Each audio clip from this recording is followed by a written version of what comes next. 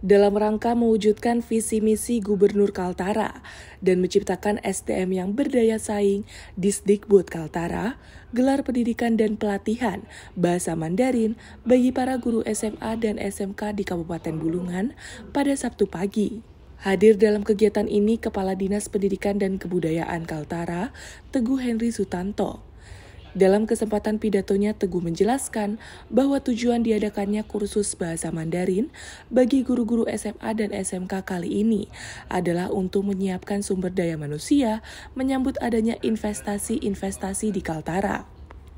Pada tahap awal, Disdikbud akan melatih guru-guru SMK dan SMA di Kabupaten Bulungan agar dapat memahami dan mengerti berbahasa Mandarin.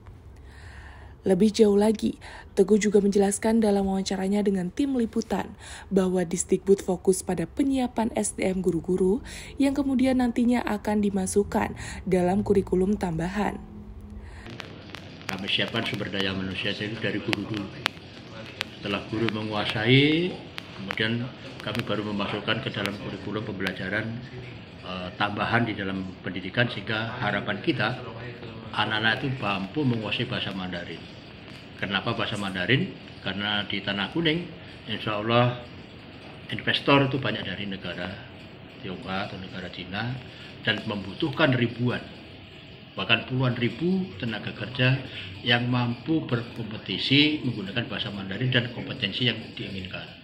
Oleh sebab itu kami perlu mempersiapkan diri. Jangan sampai ketika membutuhkan tenaga kerja lokal tidak didukung dengan kemampuan komunikasi verbal yang baik, itu akan merugikan kita sendiri. So, Dalam kegiatan ini, turut hadir Wakil Dekan Fakultas Sastra Universitas Negeri Malang, Edi Hidayat, bersama para tenaga pengajar bahasa Mandarin yang juga didatangkan dari Fakultas Sastra Universitas Negeri Malang, Jawa Timur.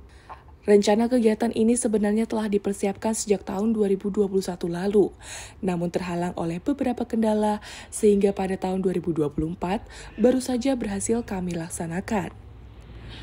Selanjutnya, pengembangan berbahasa Mandarin ini secara bertahap akan dilaksanakan juga bagi semua satuan pendidikan yang ada di Kaltara, dan juga rencana akan dimasukkan ke dalam kurikulum sekolah, sehingga wajib bagi sekolah jenjang SMA dan SMK untuk pelajaran berbahasa Mandarin ini.